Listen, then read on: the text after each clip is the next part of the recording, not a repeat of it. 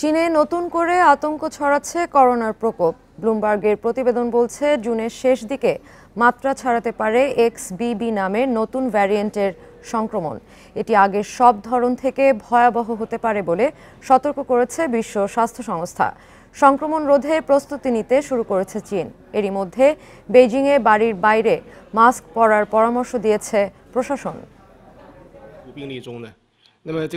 করোনার ঝুঁকি কমায় গত এপ্রিলে কোভিড নাইন্টিনের বৈশ্বিক জরুরি অবস্থা প্রত্যাহার করে বিশ্ব স্বাস্থ্য সংস্থা।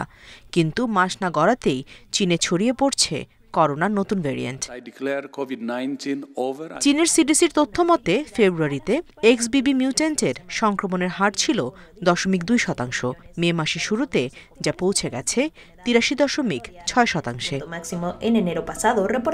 চীনের এক স্বাস্থ্য কর্মকর্তার বরাত দিয়ে ব্লুমবার্গের তথ্য বলছে এমনটা চলতে থাকলে জুনের শেষ দিকে মাত্রা ছাড়াতে পারে সংক্রমণ সে সময় সপ্তাহে সাড়ে ছয় কোটিরও বেশি মানুষ আক্রান্ত হওয়ার আশঙ্কা করা হচ্ছে যা চীনে করোনার আগে সব রেকর্ড ছাড়িয়ে যাবে.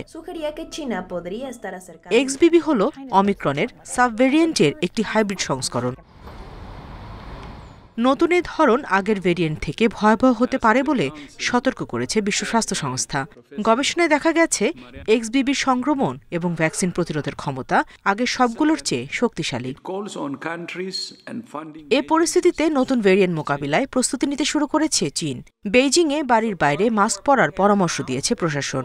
গুরুত্ব দেওয়া হচ্ছে টিকা কার্যক্রমে। চারটি নতুন ভ্যাকসিন শিগগিরই অনুমোদন পাবে বলে জানিয়েছে স্বাস্থ্য বিভাগ। But still slightly below the 3 billion. এ বছরের ফেব্রুয়ারিতে করোনার বিরুদ্ধে চূড়ান্ত বিজয় ঘোষণা করেছিল চীন ভ্রমণ নিষেধাজ্ঞা সহ তুলে নেওয়া হয় সব ধরনের কড়াকড়ি সেই পদক্ষেপই কাল হল বলে মনে করছেন স্বাস্থ্য বিশেষজ্ঞরা.